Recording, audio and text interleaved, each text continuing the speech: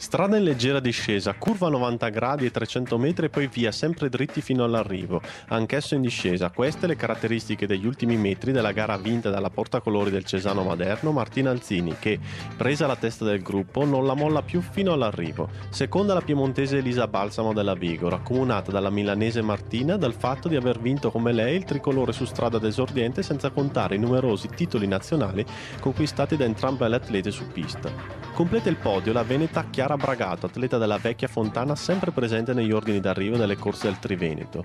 Per i colori orobici da segnalare infine il quarto posto della seriana Silvia Persico, portacolori della Valcar PBM.